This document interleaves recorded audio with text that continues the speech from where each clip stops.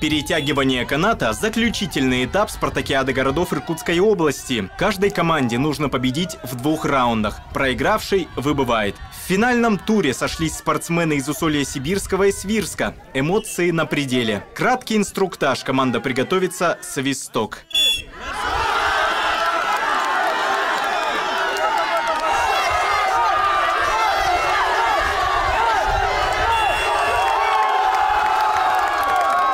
По итогам раунда сильнее всех стали спортсмены Свирска. Всего в спартакиаде городов Иркутской области участвовали команды из Саянска, Зимы, Ангарска, Усолья Сибирского, Шелихова и Байкальска. Свирск выступил не только в качестве участника. Совместно с Министерством спорта Иркутской области город стал организатором соревнований. У нас очень хорошие приехали в этом году а, коллективы, очень сильные спортсмены.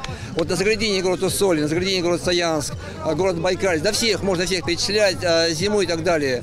Я думаю, что вот чем больше будут встречаться города на таких спортивных площадках, выиграть вся Иркутская область. Всего за звание лучших боролись более 200 спортсменов. С 23 августа в течение трех дней они состязались в мини-футболе, легкой атлетике, теннисе и других видах спорта. В последний раз подобную спартакиаду проводили более 10 лет назад. Сейчас соревнования возобновили. Их главная цель – приобщить население области к регулярным занятиям физической культурой, особенно молодежь. В общекомандном зачете третье место заняла заняла команда Саянска. Серебро у города-организатора Свирска. Первое место по итогам всех этапов спартакиады завоевали спортсмены из Усолья Сибирского. Они стали лучшими в области. Очень все понравилось. Э, собственно, кубок мы забираем в Усолье. Э, очень этому рады. Боролись. Ну и, собственно, ура! Ура! ура!